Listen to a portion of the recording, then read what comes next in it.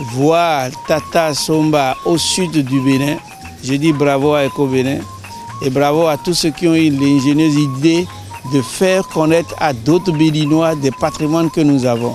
C'est pour la première fois, je vais dire, je suis en train de, de découvrir une architecture aussi impériale et qui donne envie de, de, de, partir au nord, de séjourner, de vivre la vie avec les tatas et autres. Je suis vraiment satisfaite de, de la visite, surtout que j'ai eu l'occasion déjà de visiter les tatas en vrai à Nati. Et donc ça m'a beaucoup fait plaisir, ça m'a plongé encore dans mes vacances. Et tout à l'heure quand j'ai visité, j'ai vu la chaîne de poule.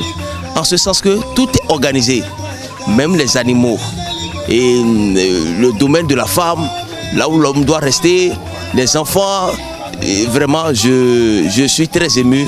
Nous avons un guide impressionnant qui nous a fait revivre, retracer l'histoire qui est collée à, à cette case qu'on retrouve dans le nord du pays.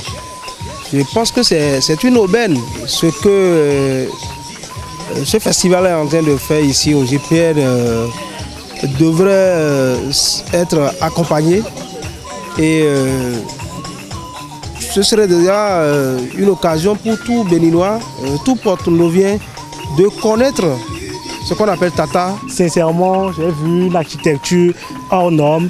Euh, cela prouve à, suffisance que nous, Africains, nous, Béninois, nous, anciens Dahoméens, on avait de grands artisans avec nous qui avaient beaucoup, beaucoup de connaissances en matière de construction. Nos ancêtres étaient des architectes, ils avaient des connaissances. Et aujourd'hui, nous devons aller à l'école de nos ancêtres. Celui qui fuit sa famille dort sur la natte d'autrui et dort par terre. Venez visiter ce que nous avons de merveilleux. Tata Tomba, c'est simplement euh, un lieu de vie et il faut visiter pour se prolonger la vie à peu de frais. J'ai découvert beaucoup de choses, j'ai appris même un mot et, en Titamari et Kouyendu qui veut dire ce que Dieu veut. Voilà, donc je pense que c'est, euh, il y a beaucoup de choses ici, venez et ensemble nous allons découvrir notre culture. Le Bénin est très riche, l'Afrique est très riche, l'Afrique est belle. Venez et nous allons rester ensemble.